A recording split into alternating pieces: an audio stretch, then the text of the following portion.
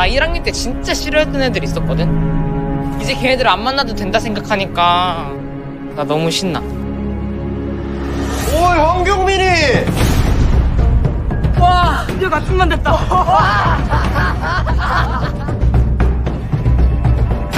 강민은 개자식들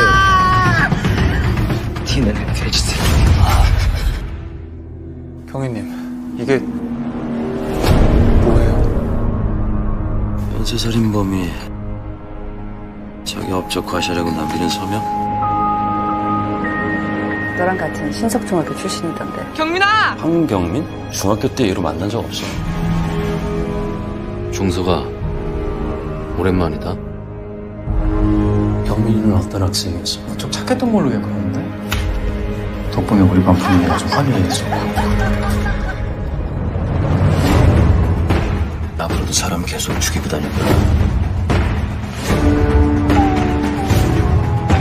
친구가 괴물 되는 건 막아야겠어. 너도 함께 해야지.